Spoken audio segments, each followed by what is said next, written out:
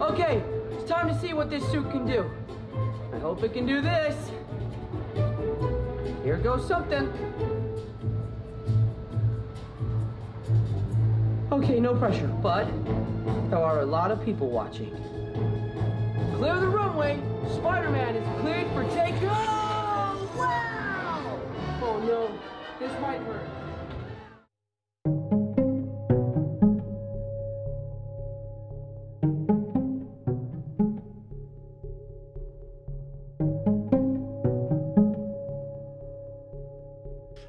Was a there was a big milestone in our development of this, and this is when we uh, moved from uh, our uh, big pneumatic figures to a half scale all electric figure.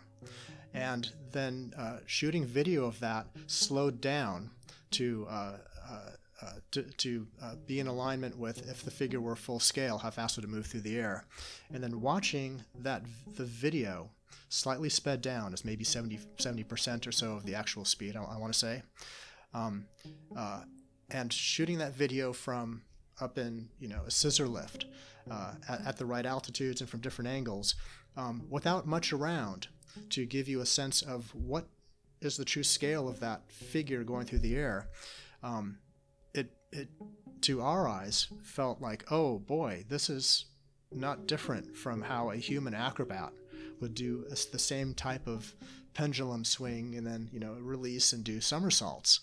Um, so that was the, the part that gave us a, a great deal of encouragement that the next thing we needed to do was go to a full size electric figure and move outdoors outside of a building where we had the we had the headroom to uh, launch this robot and get as much airtime as we could out of it so that we could do the, the, the most amount of things in the air to, to hopefully get that breathtaking response. Um, and that's a thing that we sort of also crept up on as we added more power to our launch system. And uh, we realized that there's an altitude above which this feels like we have something that's superhuman. That Tony talked about, where uh, it's in the air so long that it feels wrong. It feels like it's feels like it should have come down by now, right? And it's like it's you're you're kind of you're something elemental in your brain is like mm, something that something shaped like a person shouldn't be in the air that long, and it, it's it it kind of gets a second emotional reaction from you. It's a big reaction when the thing is launched. When the character is launched really fast, you get a big emotional reaction. But then there's this secondary one where it's like, shouldn't it have, you know, turned around and start coming down by now? And that's if you get above, uh, for us, I think about 55 feet was where we started noticing that, and that was unexpected and really cool. Um, and again, a very much, very much not like something that you can't really put down as a technical specification in a conventional robotic sense, but something that very much popped out of this, like, you know, being really caring a lot about what the human is experiencing.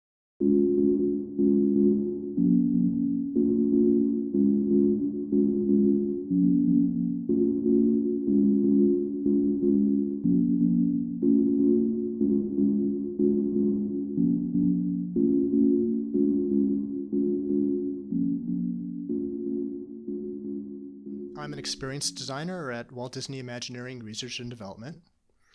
Uh, and I'm uh, happy to be working with Morgan on a series of projects over the years. Um, I'm a research scientist uh, at Disney Research, and um, I generally work on uh, robots that are dynamic, that have some uh, some motion to them. Um, and yeah, Tony and I have done a, a few different projects along those lines um, since I started at Imagineering. The first question: What distinguishes you from robotics, the traditional robotics? Like when you work in design Imagineer, what differentiates you from traditional robotics engineers? If there's any component that make you more aware of the design in a different way than what we do in, in traditional robotics. Yeah. Uh, did you want to take one first, or sure? I'll I'll I'll set it up. Um, okay. Is, I think uh, so. So I think I you know I come from uh, uh, my PhD in more conventional robotics, and um, there's definitely I think the focus there is on accomplishing a task. Um, and what's fun about uh, our job here is that our goal is to create a connection or an emotion um, and so it's different. It's it's a it's more about. And actually, I'd love for Tony to talk a little bit about this because that's why um, you have like hard technical skills are really important to achieve something new, but we can't just be task focused. We have to look a little bit more broadly. Mm-hmm. Yeah, um, there's a there's a, some really fascinating things that are happening in the field of robotics, especially as of late.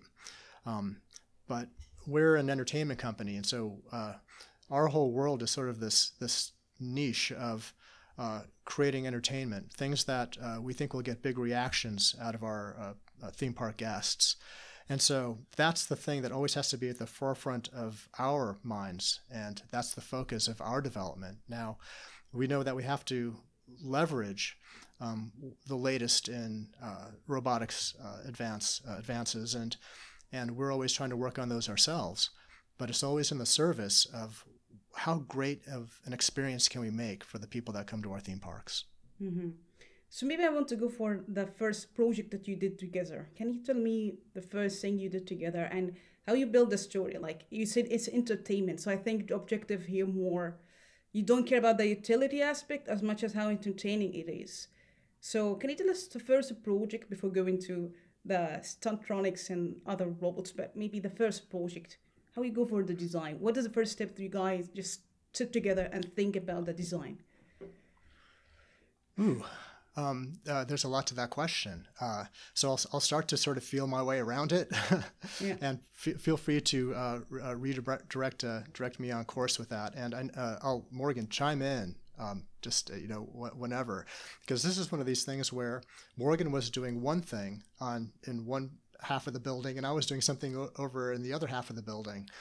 And um, we just kind of got lucky in that we were sort of put together to work on uh, help each other out for a particular project. But what Morgan was doing was actually quite fascinating. He was doing serious robotics. Uh, do you want to talk about the brick? Well, I think yeah, I think actually it might be good to. I think what was in common in between was this. Uh, there was this. Um, uh, wh- wh- where the project started was actually less of like I don't think uh, anybody had like a, a, real show in mind or a really like a, a, final destination. But what both of us were working on was around this idea that wouldn't it be neat if the robot was really was actually just flying, like just being thrown across the room. That was that was the the the the the kind of the core idea. And I know that um, when I joined Imagineering, Tony had had this idea of like, can we just take a robot and throw it? and um, he was uh, attacking it from uh, let's try and make a character without any uh, actuated components so we can actually see if we actually make something character shaped survive an impact and on my side i uh, that idea of like oh my goodness a, a, robot that's flying it's not it's not there's no strings it's actually thrown in the air it's up there for some amount of time uh, was really exciting and there was this idea we didn't know where it was going to go but it, it, it, immediately grabbed you. Emotionally it grabbed me. I was like oh that's a cool thing.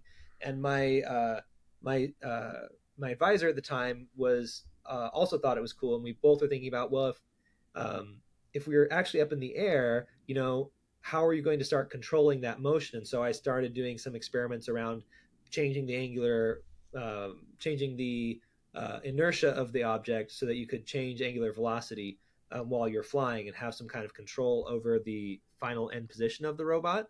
Um, and so Tony was working on getting a character flying through the air. I was working on doing some of the inertial control.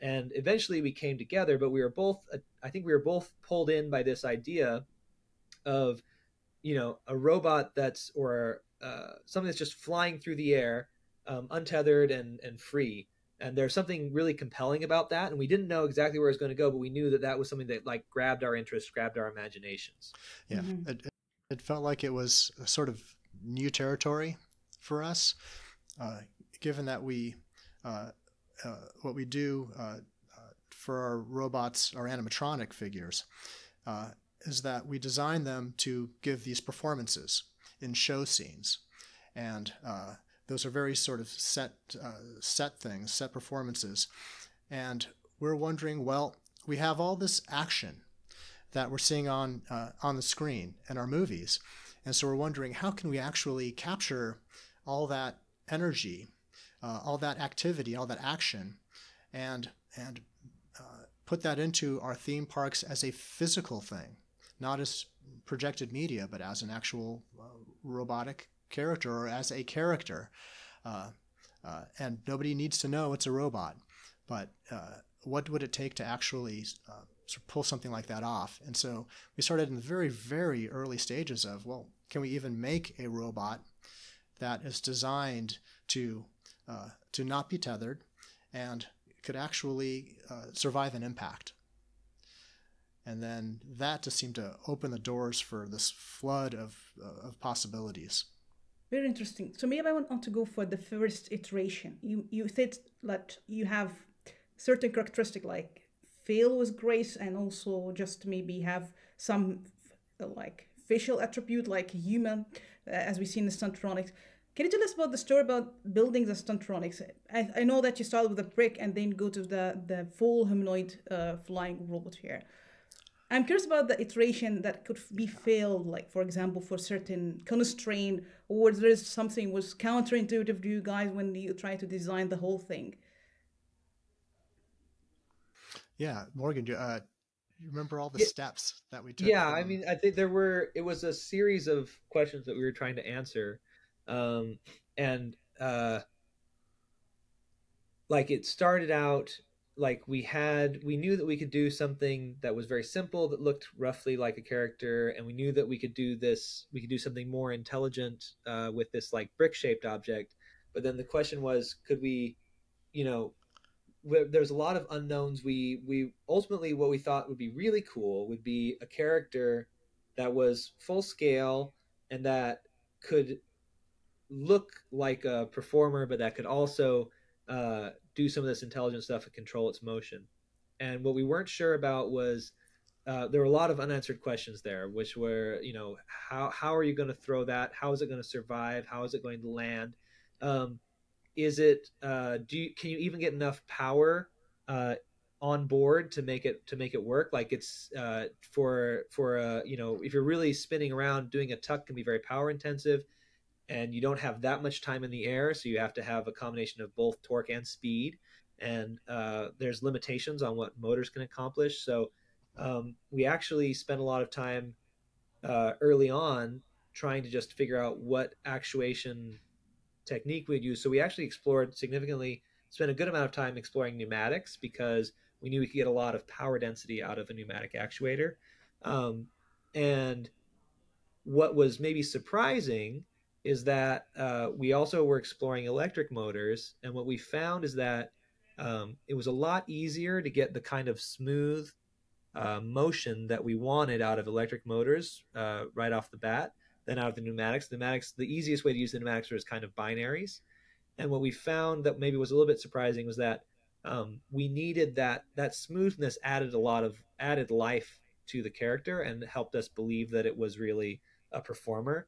Um, and so even though the power density wasn't quite as good with the electric motors as it was with the pneumatics, um, we ended up being pushed that direction because it was so much smoother and more lifelike. Um, and we are willing to make some sacrifices on the speed of a tuck or uh, you know the the weight of uh, of the robot itself, and and work you know to bring that total do some more serious design work in order to make the electric motors work because it had such a nice effect in the way it made you feel as you were watching the robot and you were able to get these subtle more expressive motions. Yeah, there was a there was a big milestone in our development of this and this when we uh, moved from uh, our uh, big pneumatic figures to a half scale all electric figure.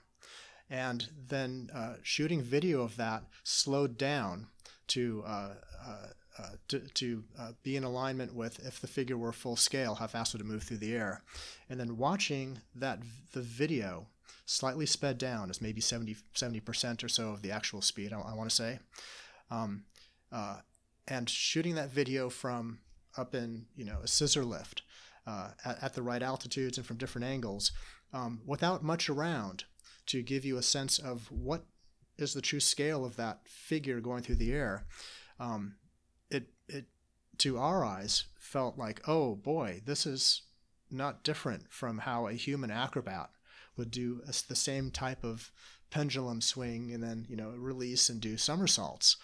Um, so that was the, the part that gave us a, a great deal of encouragement that the next thing we needed to do was go to a full size electric figure and move outdoors outside of a building where we had the we had the headroom to uh, launch this robot and get as much airtime as we could out of it so that we could do the, the, the most amount of things in the air to, to hopefully get that breathtaking response. Um, and that's a thing that we sort of also crept up on as we added more power to our launch system. And uh, we realized that there's an altitude above which this feels like we have something that's superhuman. Yeah, that's actually. Sorry, go ahead. Yeah, yeah f- f- f- please finish that thought. No, no, I was. I think I, I'm just excited because that is that's something that was a true surprise for us. Is that as we were throwing the robot higher and higher, um, there was this moment that Tony talked about where uh, it's in the air so long that it feels wrong. It feels like it's feels like it should have come down by now, right? And it's like it's you're you're kind of you're something elemental in your brain is like mm, something that something shaped like a person shouldn't be in the air that long, and it, it's it it kind of gets a second emotional reaction from you. It's a big reaction when the thing is launched. When the character is launched really fast, you get a big emotional reaction. But then there's this secondary one where it's like, shouldn't it have you know turned around and start coming down by now? And that's if you get above uh, for us, I think about 55 feet was where we started noticing that, and that was unexpected and really cool. Um, and again, a very much very much not like something that you can't really put down as a technical specification in a conventional robotic sense, but something that very much popped out of this like you know being really caring a lot about what the human is experiencing. Go ahead. You want to say something, Tony? Oh, uh, it's. I think it sort of ties into this uh, this connection you have with uh, the robot character um, is becomes a feeling of empathy. If you can now relate to, gee, uh, what would happen if I were that? If if I were 65 feet in the air and coming down from that height, there's a there's a thing that makes us all f- feel something very powerful, mm. uh, and, and that's sort of uh, we got a taste of that with this uh, with our uh, uh, uh, Spider-Man Stuntronic figure, and so that has us now thinking in that mode constantly. Where else can we find these these moments that we can do with the performance of a robot that brings out these very powerful feelings? One other, I just remembered one other kind of surprising thing out of the physics there, which yeah. was when we were, when as we developed the launch system for the robot, um, what we found out initially was actually kind of a challenge is that the physics of it's a it's kind of you can kind of think of it as a double pendulum because it's the robot at the end of this rope um, and then you also have this uh, rapidly shortening rope and both of those uh, actually create a very sensitive system in terms of small changes in the initial motion of the robot small changes in the initial conditions of the robot could lead to uh, quite different results in terms of how fast the robot was spinning, a little bit about how far it would go. And so uh, initially that was kind of a challenge because um, it meant that we had to be really consistent with how we uh, set up the robot. It meant that um, we had to have a certain level of repeatability in everything that we did. But and and, and actually initially it was kind of um, a little bit daunting because of the the sensitivity to those conditions. But ultimately looking back uh, on the flip side of that because it was so sensitive to because it was a sensitive system that could have big changes from small motions it actually ended up being a really powerful tool because we could end up doing from the same robot and almost the exact same uh, launching motion uh, with very small variations we could have a robot that did uh, we could have a performance that did a front flip or a double front flip or a single backflip or a double backflip or a triple backflip and these could all come out of very similar motions from the launch uh, mechanism and produce different results for the acrobatics, which was cool because it suddenly gave us this big range of acrobatic motions that we could make out of a relatively simple uh, launch sequence. And so it was initially a challenge, but um, once we were able to make, once we were able to figure out a way to make it tractable and repeatable, it then gave us this uh, this greater flexibility to make uh, this greater range of cool um, performances. Mm-hmm. Very interesting. There's many interesting point here, but I want to ask you guys maybe about uh, actuation because at the beginning you mentioned you tried pneumatic and then electric motors like servos here, and it gives this liveness to the to the, the figure here. Did you guys discuss? I wish we, we wish that we have this kind of actuator like resemble artificial muscle because we know in robotic community we still don't have artificial muscle resemble biological one. If we speak about energy and performance and force, did you have this kind of discussion about the actuation? Yeah, I mean that. Uh, if, if we could have uh, actuators that resemble human muscles that give us the performance of human muscles, um, that that's that's a that's a dream. That's that's the that's the the, the thing that we would uh, uh, would open up everything for us if we if we could have that kind of capability, because when we're building the the kinds of robots uh, we're making with uh, the somewhat more sort of conventional styles of actuators, uh, you know, electric servos, uh, even as uh, as sophisticated as they have become now, uh, there's always the possibility that you're going to backdrive something hard enough and you're going to strip gears in a gearbox, or that you're going to hit these these ceilings of how much torque you can get out of a motor when you when what you also need is torque plus the speed and so we start hitting these these very you know real world limitations of uh, what's available to us today. So uh, w- once we can get some, our hands on something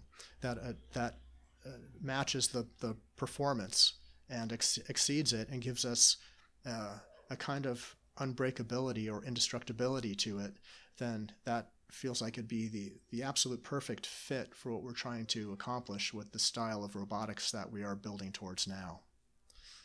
Um, I'll, I'll, turn it over to Morgan because he's really the, the person who's been uh, in in the, the depths of these problems every day. Yeah, I think Tony po- uh, Tony touched on the main points uh, pretty uh, pretty accurately, which is um, some the uh, power density of a human muscle is pretty great. It's uh, it's it, we can get close to that with good motors, and some motors can do a little bit better, but it's just a really nice packaging and it's also uh, some of the things that are I'm really envious of in terms of the human muscle or, or an animal muscle in general is uh, as Tony mentioned the compliance um, so that there's this robustness to impact and uh, and there's this uh, um, ability to interact with the external world much more gracefully. Um, then the compliance also comes with this great built-in, really robust proprioception, where you can tell where the ro- where animals and humans do a great job of estimating um, not only where they're commanding the actuator to be, but where it actually is and how much stretch is involved in the tendons and being able to actually estimate where your limbs are uh, in a robust way.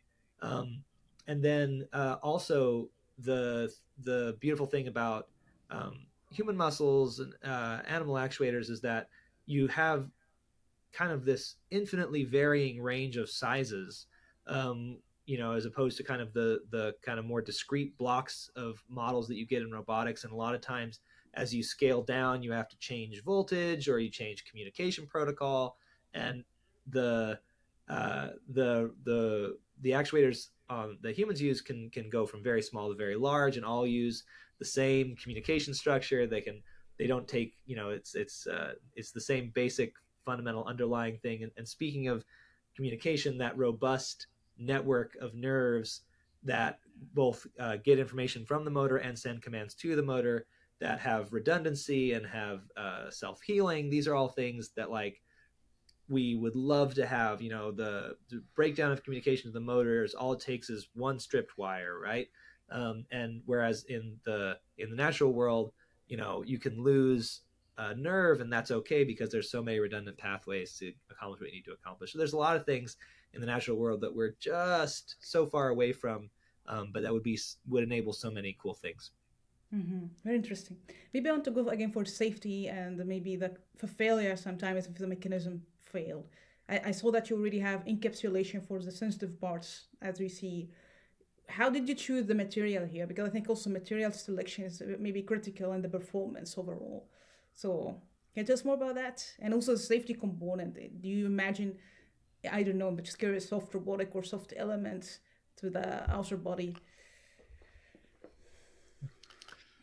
Um, well, real quick, I'll touch on uh, the uh, material choice in terms of there's two ways to think about um, mm.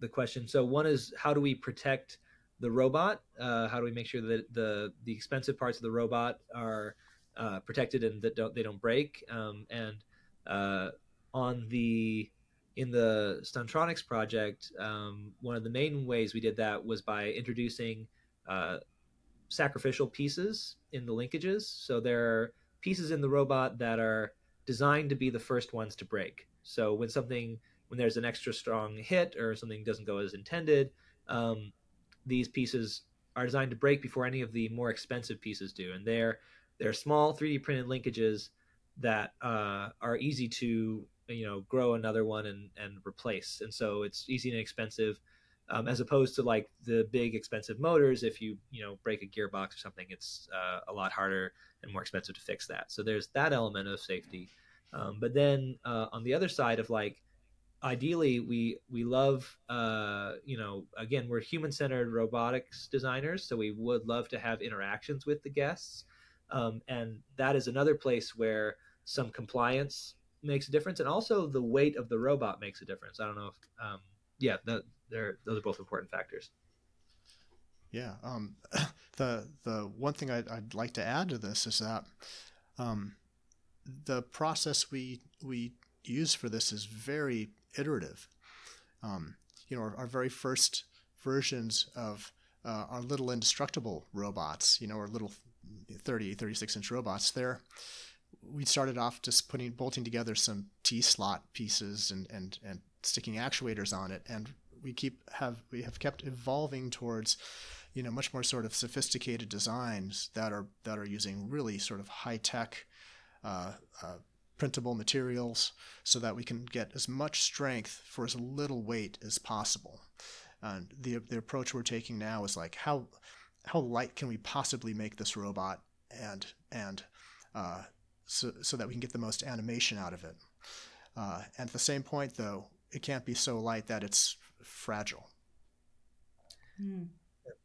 And it's it's one of those things where when you're talking about interacting with humans, um, that lightness uh, we like it because it it helps the robot not break, but it also makes it a lot less scary for a human to interact with it because as the robot becomes lighter, then the torques required to move it become smaller, which means that the torque that the robot could apply on a human goes down and comes down to a place where it's uh, much less scary and intimidating.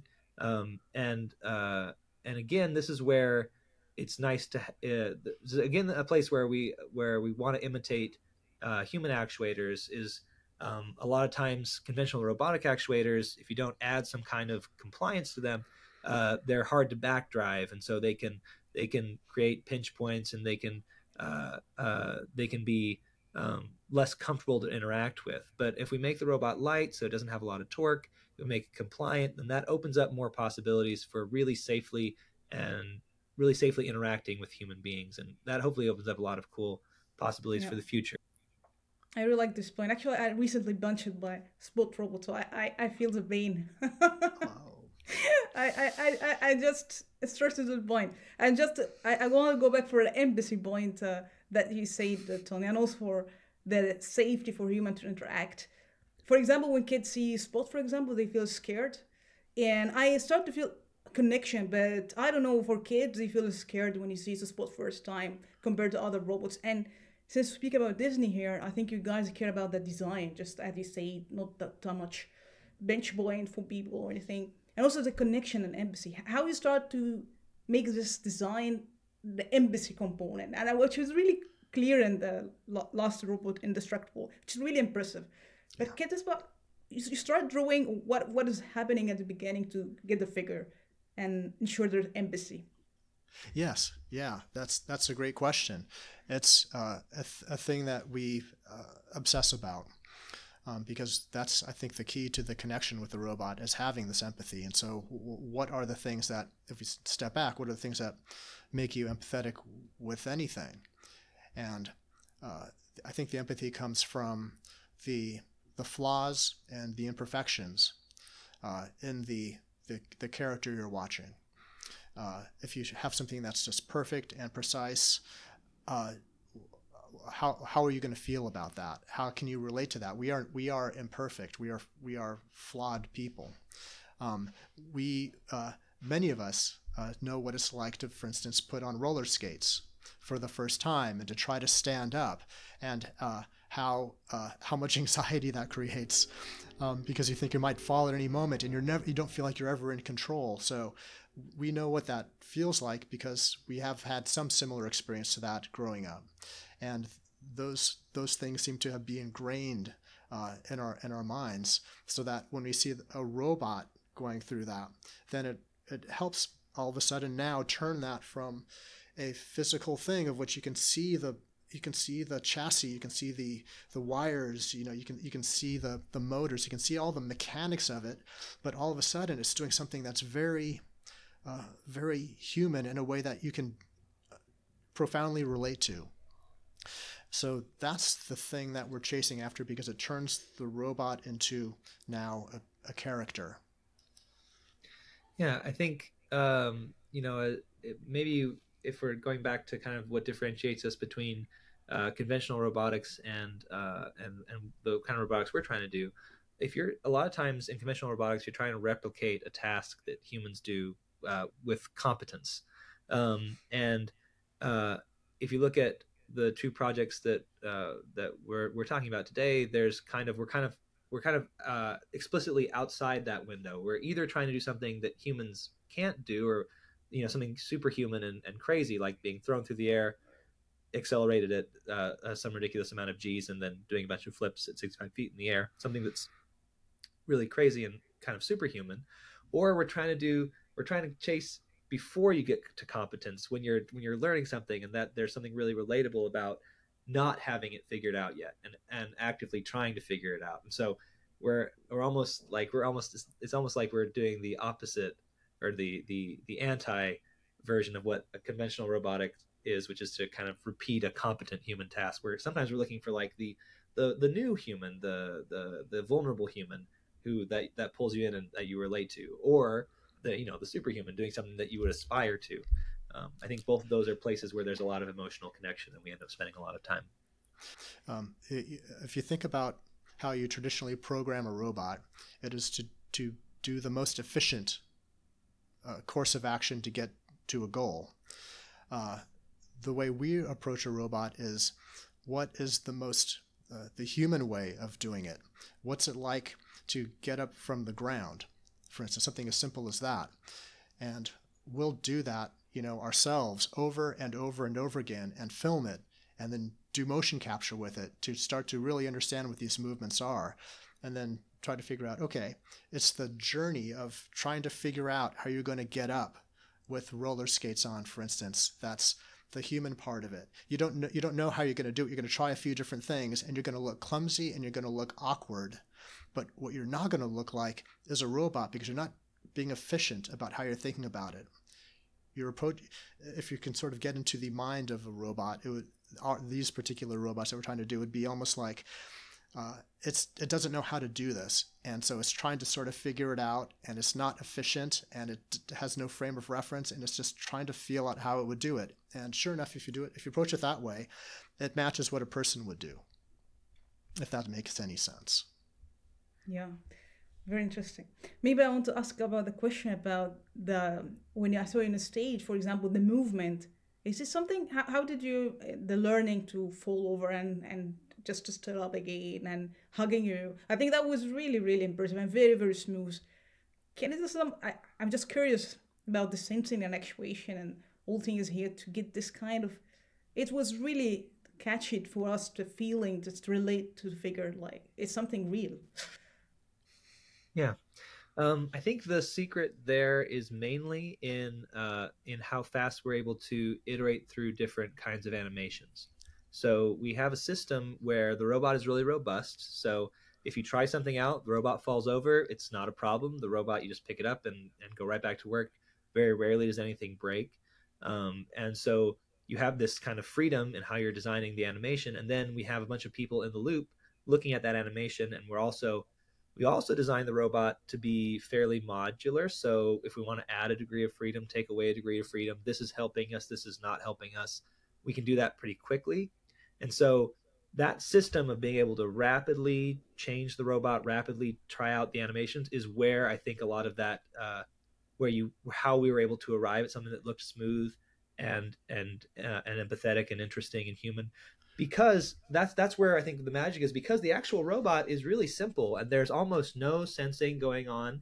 Um, we're just recording joint angles. You know, there's uh, there's not really any autonomy. Um, we're uh, playing back pre-recorded uh, motor positions, um, and we've found uh, sequences that are self-stabilizing, so that um, we don't have to uh, do complicated balancing or, or really uh, do feedback. We can just run the motion forward and it's uh, in a stable part of the dynamic so that it can happen repeatably.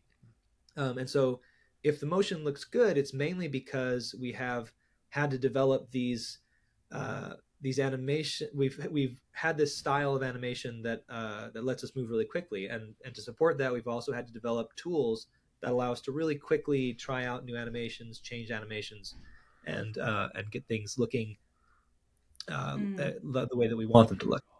Yeah, I'd say that was maybe one of the most groundbreaking things uh, that we had learned when we started doing this early on is that if you try to program a robot using the, the, the, the standard methods for doing this, you'll almost never get to where we needed to go.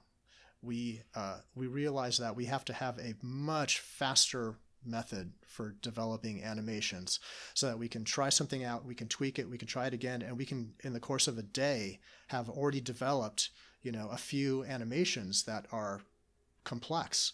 But we did them in a short period of time because we can we can actually iterate that fast. And, and as soon as we think, okay, we, you know, we, we're using our this tool that our, our, our guys on our team had, had designed specifically for doing this kind of work, we realized that, oh, well, let's add something else because wouldn't it be great to be able to animate this robot in this different way, this different process for animation? And then uh, uh, our guys will, will quickly jump on it and work that out and they'll come up with their own. And part of it's out of almost necessity. Like they'll find themselves like, hey, you know, they want to, you know, one guy will want to work late one night and uh, he'll be animating a robot and then realize he can't you know, be over here touching, you know, typing things on his keyboard and holding up this robot with one hand that's almost like a limp noodle, you know, and then having to just try to move things into position. So he'll develop this the a, a tool for being able to uh, animate this robot by himself, single-handedly, and then we'll realize, oh, well, that speeds everything up. So let's go ahead and, you know, and and and work with that, and then something else will come up, and they'll be like, oh, there's another neat way that we can animate because some of it just comes out of necessity. But the bottom line is, we always want to do things as fast as we can because it's this this long track of exploration to find the animations that resonate the most with us. Maybe for the latest robot indestructible here, are you planning to release it for the public audience to interact with, like what we saw on the stage, the like holding? Is this something you're really planning to do for public? If just you can clear that. That's always a, a, a hope, a goal is that the thing that we develop is something that we can put in front of our guests. Uh, the way our process works in uh, our research and development department is that um, we have this great uh, freedom to uh, speculate on what we think might be a really neat uh, guest experience. And then we get to ruminate on that for a while and try different things out and build towards something. But our goal is always to see whether or not what we have thought what we thought would be the uh, the really great guest experience truly is one because it's hard to kind of know until you put something in front of people. So we uh, our approach is to do play tests. And we we like to uh, when you get to a place where we think we're comfortable with with the design and uh, uh, how well it's working, to put it in front of uh, people and see what they think about it as a as a test. And those can be you know, a day, they can be a month. Uh, it all depends on how what we think we'll get uh, the most information from, and if we can actually do iterations during a test. Um, beyond that, um, uh, we we dare not speculate. Morgan, you'd like to say something here also about that? No, I just think I think Tony's did a good job of saying that like we uh we our hope is that this uh, gets out and entertains people and um, you know we're still early phases but certainly the reactions that we got from the south by southwest stage are encouraging and i think that there's something here so we really hope that we get the chance to continue to develop it and that hopefully uh, you know it goes out into the world and, and uh, it makes people happy mm-hmm. maybe i'll ask you bulls do you have any kind of crazy ideas I, i'm just curious when you have this kind of designs that related to maybe like the Spider-Man or this figure. Do you have any other ideas like crazy? Because you say that still there's a lot of imagination for designs, or I'm just curious, what's in your mind, Bulls? Yeah. Oh yeah, we have we have uh, too many at times, you know, because you can only work on so, so much. Um, uh, but yeah, we're we uh, we have been working on other projects in the past, and uh, for one reason or another, they might not uh, uh, go to the next sort of round of development. Um, it's not because it's not a necessarily a good idea. It just might be due to timing or whatever, uh, or uh, uh, limited resources.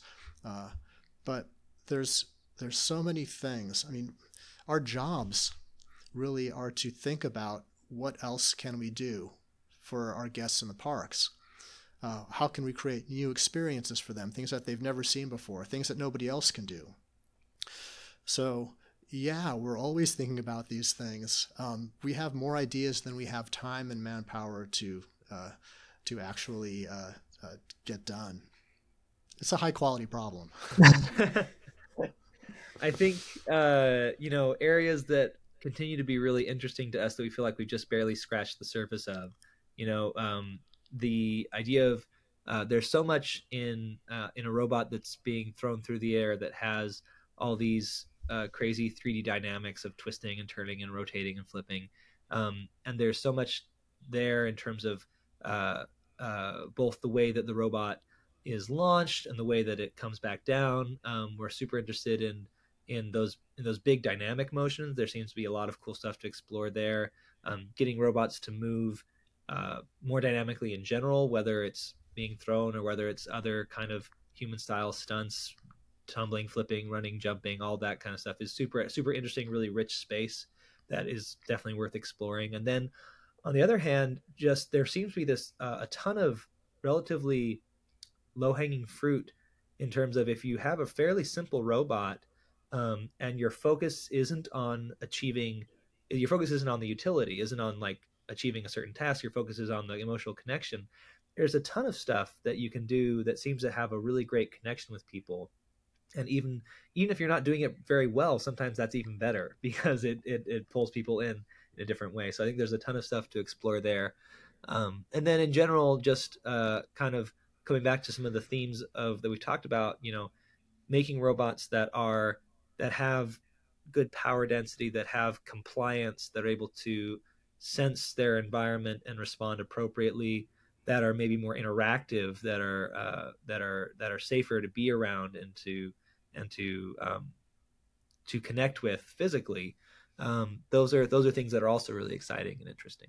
Maybe about the creativity and flow of ideas how you both ensure that you have this creativity creativity space to come up with new ideas. I'm curious about that process and flow to get where you have achieved well, sure. I think uh, can I can I jump ahead. in real quick at the top? I want to say absolutely.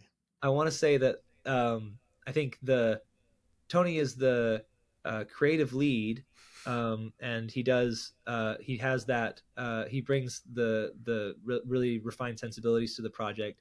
And one thing that I think Tony is also brilliant at is is pulling creativity out of other people, um, and he does that by uh, by being a really le- low ego leader and um, allowing good ideas to come from any member of the team, um, uh, uh, whether it's an intern or you know a special effects specialist or uh, to to make everybody feel like they have a voice in the process is something that I think Tony does really well. And then I'll throw it back. Oh, oh, gosh, that was that's really nice to say. I don't think I'm going to cry. um, Uh, I mean, uh, that said, though, if you look up the makeup of our team, especially with Morgan, I mean, he, he uh, I don't know if he had introduced himself as the technical lead on the on this project, but that's actually quite a misnomer. Um, if you look at the uh, the animations of Spider-Man, uh, as that Spider-Man Stuntronic is flying through the air, those are uh, quite complex and quite in my opinion, very beautiful and very natural looking. And those were all created by uh, this guy here on the call, Morgan, who has a PhD in mechanical engineering, yet uh, his his uh, he has a very refined sense of what should look good and what shouldn't, and doesn't think of robots as being robots. I think very early on we look at these things as characters, and how do you make this into a character. And it's not particularly easy when you start off with an assemblage of hard parts and servos and electronics. But um, uh, uh, Morgan has very refined tastes in that, and he uh, he's really always great to work with, whether it's with me or with a with a, a live entertainment uh, creative directors um, because he he speaks that language, and that goes for the, uh, the other people on our team too. Because when you're when you're working at, for Disney, you can't ever separate yourself from the fact that we are a creative company first and foremost, and what we're always thinking about is the stories and what, how our characters are part of making these uh, the stories feel real to our, our audience, our guests. Uh, and since we've you have that mindset and that that gets ingrained into you very early on in your Disney career. And it only gets reinforced each project you work on that everybody on our team whether they're writing code uh, assembling a robot um, uh, manufacturing parts whatever it might be everybody has the mindset of what will this character become? Not what is this robot? How do we make this robot a better robot um, so I, I, think we're, we're fortunate. Yeah, yeah. Go ahead, Morgan. I totally agree. We're very fortunate. Um, and I'd also say, I think another thing that helps the team uh, organize is um, uh, Tony and I have this uh, guiding idea that like if what we're doing is delighting us today, then we're probably leading towards something that will delight other people in the future. So we try and we try and as a serious business goal, we try to maximize the amount of fun we have um, with our robot. Uh, because we're trying to ultimately produce an experience that people should find, you know, enjoyable and, and, and, and joyful. And so if we, if that joy doesn't exist in the day to day, the hypothesis is that you won't find it in the final product either. So, yeah, yeah. A, a wise man once told me, uh, your audience can see the joy you had in making your product, and uh, I absolutely believe it. Um, we have we have a great time. Um, uh, you might I don't know if you can pick up on this because Morgan's actually being very very serious and respectful on this call, but um, you're you're hard pressed to find somebody who has a, a, sort of a better sense of humor and who uh, uh, and who um, is is uh, as open about it as Morgan. Uh, he has us all in stitches all day long. We just sort of have a great time laughing, and and when we see something that we've done look really impressive to us, we celebrate that. We don't hold that back. We just have a great time. I won't I won't lie to you. If I'm making this sound like it's a dream job, um, kind of sort of is. Shh, don't tell anybody. I'm so yeah, I'm so proud of you. I think I, I can tell you how people in the robotic community just uh, fan of both of you that seriously. And um, sure, we see that in the in the robots you do. That's something very very admirable. I don't know if you have any final words like say for people listening or robotics community. Any final words like say? Final words. Um, yeah. I, would just say that as someone from a conventional robotics background who ended up in, in, in entertainment robotics, I would just say that this is a field where I think it's a place where robotics can make a difference, can can be really fun and really exciting, and where you can do really fun, innovative work. But it also just, uh, I think, it's something that I think we are just starting to scratch the surface of, and I hope that more people will take a look at this as a place where you can apply um, those hard technical skills that you get in whatever training you got um, because I think it's a really nice way to use it. Oh gosh, um, it's hard to follow Morgan. Uh, he's he's great at wrapping things up, but I'll I'll go ahead and and just say, hey, um, uh, chase in whatever part of robotics that you're involved with, just chase after the thing that brings you joy, um, and don't be afraid to do the unconventional, because we are so lucky that that is what we are chartered to do. Um, uh, and we're reminded of that every day. But it's it's easy to lose sight of that um, when you're you know working real hard in in your lab at your university or whatever it might be to think that wait you know how could could this be a enjoyable thing even if it's something that needs to be a task driven thing where's uh, you got to find the joy in this because it's a it's a very complex field